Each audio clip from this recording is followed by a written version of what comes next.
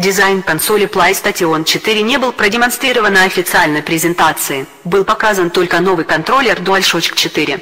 Решение отказаться от демонстрации внешнего вида PlayStation 4 президент Sony Worldwide Studios объяснил тем, что компания хотела обратить внимание публики на ключевые нововведения, предлагаемые Sony, новый контроллер и кнопка Шари, а внешний вид консоли показать позже, чтобы никто не заскучал, ожидая ее поступления в продажу. Там же он отметил, что сам не видел вживую PS4, а DualShock 4 увидел за день до официальной презентации 109.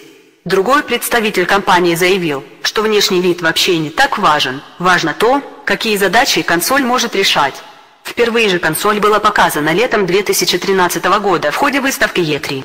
До официальной презентации внешнего вида консоли на E3 2013 даже главный архитектор консоли Марк Серни, английский Марк Черны, не знал, как выглядит PlayStation 4, а после презентации был запущен сайт – на котором виртуальную модель приставки геймпада можно рассмотреть со всех сторон.